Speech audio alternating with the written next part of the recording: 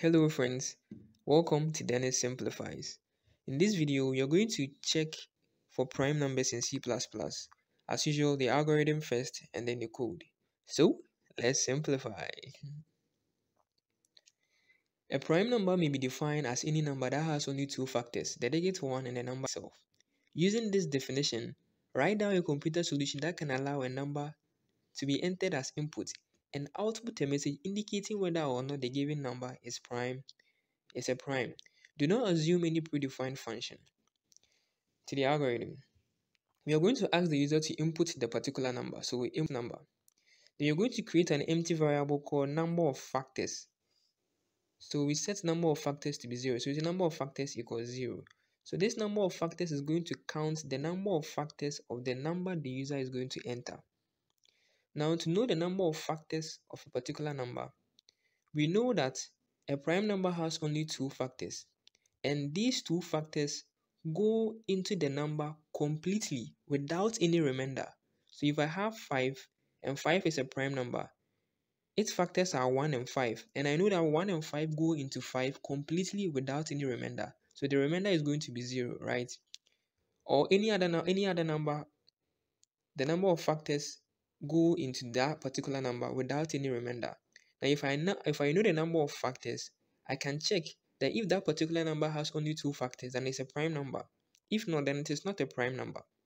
So I'm going to set a for loop that is going to run from 1 to 10. And then I say if the number modulus i is equal to 0, then it should increase the number of factors by 1. And then nf and then n4. So the i here is going to change from 1 to 2 to 3 to 4 to 5 up to 10 and be checking if that number is a factor because you know to be a factor you must go into your number completely without any remainder. So now that we know the number of factors, we are going to check if the number of factors is equal to 2, then we should print that the number is a prime number.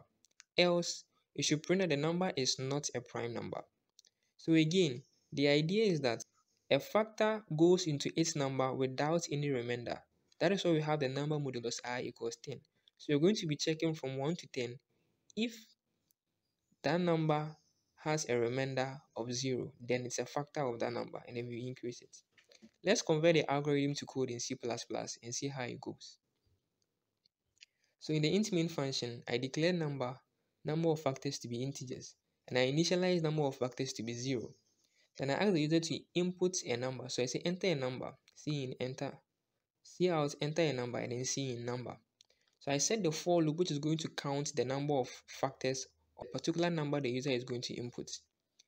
Then I set the if statement which is going to check if the number of factors is equal to 2, then it's a prime number. Else, if the number of, that means if the number of factors is not 2, then that particular number is not a prime number. So I end my code with system was greater than 0 and then return 0. This will ensure that only the needed information will be displayed when we run our code and then return 0 is just by custom. So let me input a number and we're going to check if that number is a prime number or not. So I entered 5 and it says that 5 is a prime number because 5 has only two factors 1 and then 5. Let's input another number and see. Now I entered 8 and say 8 is not a prime number because we know that 8 has more than two factors that is 1 2 4 and then 8 itself. So that's it for this video. Don't forget to like and then subscribe. See you in the next video. Till then apart yeah